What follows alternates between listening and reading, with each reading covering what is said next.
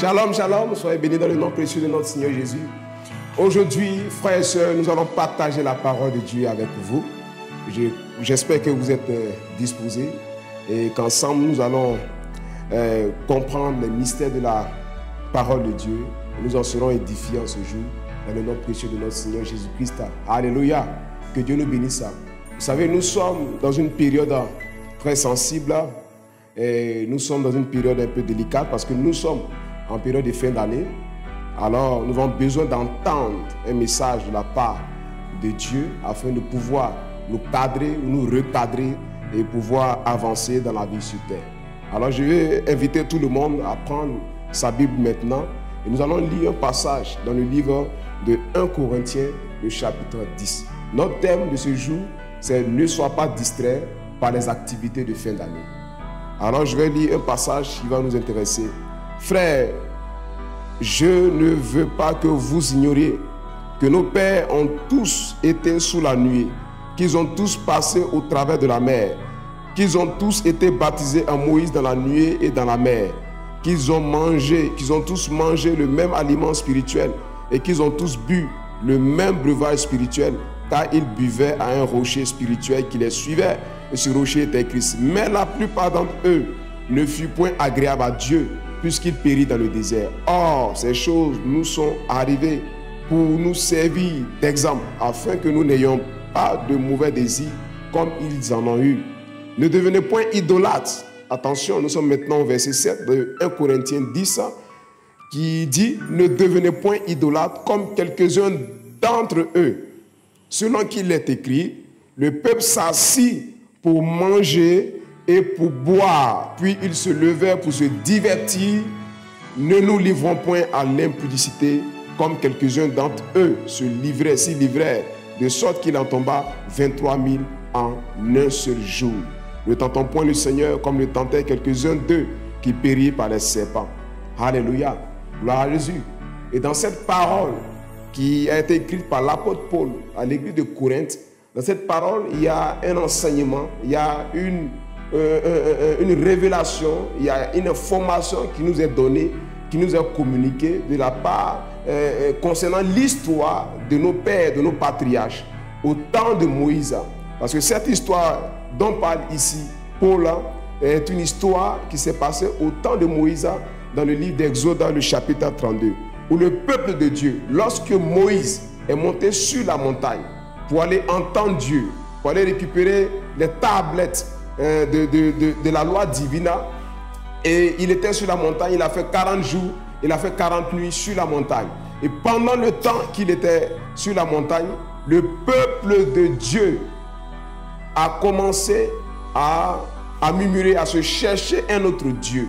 Parce que pour eux, Moïse n'allait plus revenir. Et le peuple a forcé, ou bien a encouragé Aaron à pouvoir se créer un autre Dieu. Et le peuple a envoyé de l'or et tout ça. Ils ont, réuni tous ces choses, tous ces bijoux. Ils l'ont fondu et ils ont créé une sculpture de, de veau d'or. Ils se sont mis à l'adorer et disent Israël, voici ton Dieu. Alors la fête a commencé et le peuple s'est mis à manger, le peuple s'est mis à boire, à se divertir.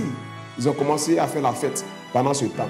Ils ont commencé à célébrer, euh, euh, à danser, à chanter, mais sans l'éternel. Et je me souviens que avant que nous arrivions dans cette histoire, dans Exode 32, avant que nous arrivions à ce chapitre, il y a eu plusieurs chapitres précédents.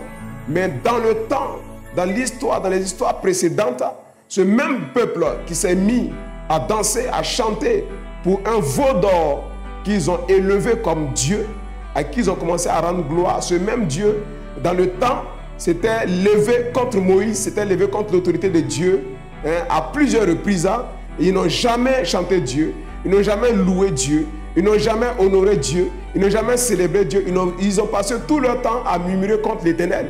Quand l'eau les manquait, ils murmuraient contre l'Éternel. Lorsqu'il manquait de la viande, ils murmuraient contre l'Éternel. Mais regardez, à partir de l'instant où Moïse n'est plus, dans Exode 32, alors ce peuple va, se, va s'ériger son propre Dieu. Et à partir de l'instant où il s'érige un propre Dieu, à eux-mêmes, le veau d'or, ils vont commencer à célébrer. Ils vont commencer à danser ce Dieu. Et ils oublient que c'est l'éternel, le Dieu Tout-Puissant, le Dieu de Moïse, qui les a fait sortir de l'Égypte, là où ils étaient en esclavage. Alors aujourd'hui, nous sommes dans une période de fête. Et lorsque nous lisons, euh, euh, Paul nous exhorte ici, dans ses écrits, à ne point être des idolâtres. Il nous exhorte à ne point nous focaliser sur les choses de ce monde, les choses de maintenant. Aujourd'hui, nous sommes dans une période de fête de fin d'année, une période de festivité. Alors lorsque nous rentrons dans cette période, euh, notre, notre esprit est surchargé. Notre esprit n'est plus disposé. Nous voulons nous faire plaisir. Nous nous préparons à manger. Nous nous préparons pour danser, pour chanter, nous faire plaisir, nous réjouir. Mais qu'est-ce qu'une réjouissance sans l'éternel? Qu'est-ce qu'une réjouissance sans l'éternel peut nous apporter? Si nous nous réjouissons et que nous mettons Dieu hors de notre réjouissance, si nous mettons Dieu hors de nos danses, hors de nos célébrations, nous irons tout droit dans le péché. Nous irons tout droit hein, en train de commettre l'impudicité. Parce que la Bible dit, ils se sont mis à manger, ils se sont mis à boire. Frère, lorsque nous voulons nous, voulons, euh, nous réjouir, lorsque nous voulons célébrer une fête, nous commençons d'abord par manger. Et après avoir mangé, nous commençons à boire. Après avoir bu un peu, nous commençons à nous divertir. Et après le divertissement, vient maintenant l'impudicité. Et la Bible dit que lorsque le péché est arrivé, Dieu a frappé 23 000 parmi eux sont morts en un seul jour. Et beaucoup de personnes aujourd'hui ont perdu leur faveur, ont perdu leur grâce, ont perdu leur bénédiction, ont perdu leur destinée, ont perdu ce que Dieu leur avait promis parce que ces personnes-là, dans les temps de réjouissance, dans les moments de fête, n'ont pas su se retenir. Frère, je veux ouvrir ton esprit sur quelque chose. La nourriture est bonne, c'est vrai. La nourriture est bonne pour le corps, mais il y a des choses que souvent l'Éternel interdit.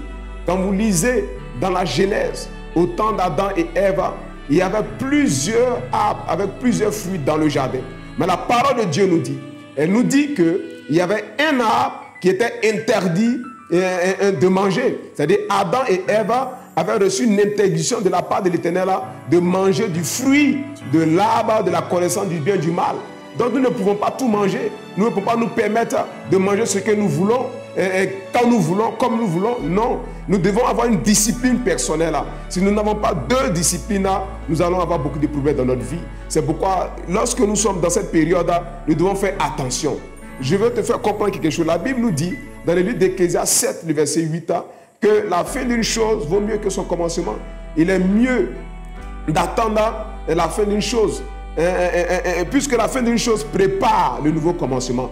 Alors je vais ouvrir ton esprit. Vous savez, quand nous lisons la, la, Bible dans le livre de, Genèse, le chapitre 1, rapidement, vous me, suivez. Nous allons dans Genèse, le chapitre 1. Voilà, on va chercher ensemble.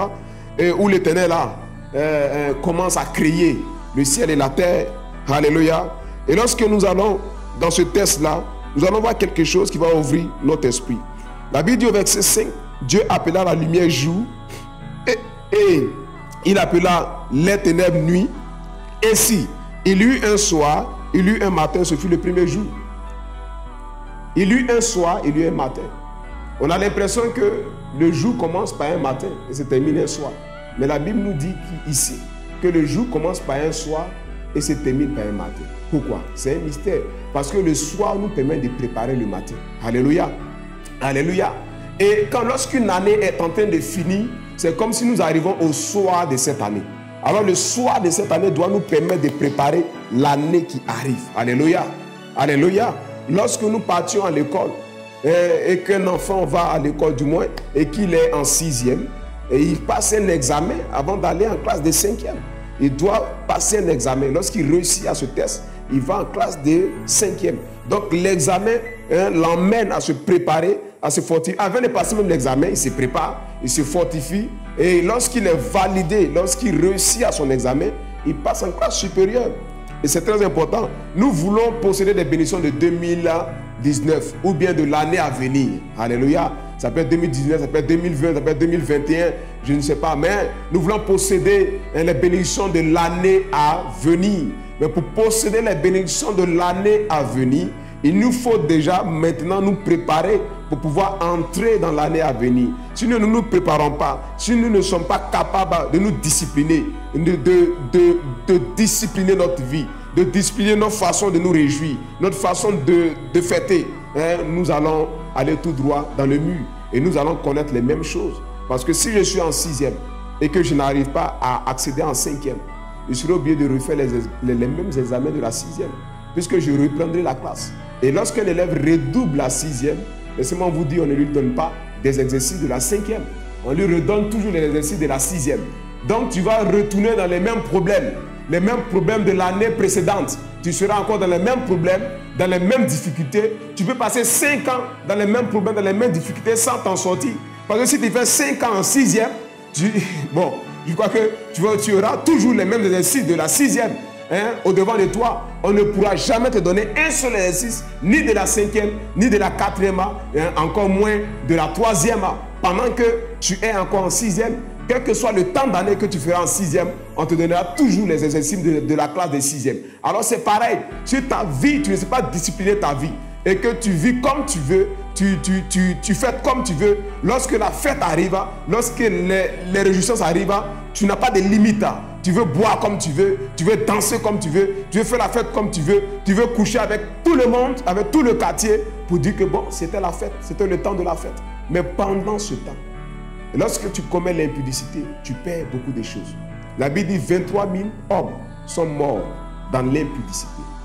L'homme avec qui tu es parti, la femme avec qui tu es parti, pour une seule nuit, mais pendant une nuit de plaisir, est-ce que tu peux savoir combien de bénédictions tu as perdu Combien de faveurs hein, qui t'ont été arrachées à cause d'une nuit de fête, une nuit de plaisir? C'est pourquoi le Seigneur nous exhorte à ne pas nous livrer, à ne pas nous livrer hein, au manger et au boire. Mais si nous voulons manger, si nous voulons boire, il faut que nous soyons capables d'inviter Dieu dans ce que nous faisons. Et lorsque Dieu est là, il est au contrôle et il conduit toutes choses. Alors, cette fin d'année, je vais t'exhorter, je vais t'encourager. Je veux aider quelqu'un par cette parole. Je veux dire à quelqu'un que la fin de cette année doit te permettre de préparer l'année à venir. La fin de l'année, c'est une année où tu dois être disposé. La fin de l'année, tu dois être quelqu'un qui reste attaché à la parole de Dieu. Tu dois être quelqu'un qui reste attaché hein, aux voies de l'éternel, dans la sanctification, l'esprit disposé, constamment dans la prière, parce que beaucoup de choses peuvent se produire en fin d'année. En fin d'année, il y a des gens qui meurent subitement. En fin d'année, la sorcellerie encore agit plus puissamment. En fin d'année, le diable se lève, il se déchaîne parce qu'il veut empêcher beaucoup de personnes d'entrer dans la nouvelle année. Des choses te sont proposées. Pourquoi? Parce que le diable veut empêcher, il veut t'empêcher de pouvoir entrer dans ton miracle et dans ta bénédiction, dans ta faveur, dans ta prospérité de l'année à venir. Alors sois vigilant. Reste dans la prière surtout parce que beaucoup de choses peuvent arriver.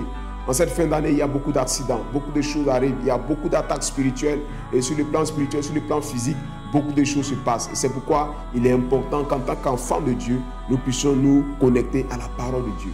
Nous devons faire attention, nous devons faire attention à notre marche, nous devons faire attention à ce que nous faisons. Soyons sobres, soyons modestes, parce que l'Éternel, il est là, il marche avec nous, il est plus proche de nous que nos vêtements alors ne nous inquiétons pas du lendemain, mais soyons focalisés sur l'éternel. Laissons les autres faire la fête, laissons les autres se réjouir, mais nous, soyons focalisés sur l'éternel des armées. Je crois que Dieu nous bénira. Alors, aie une année bénie, que Dieu bénisse ton année et que tu sois encore prospère dans le nom de Jésus. Amen.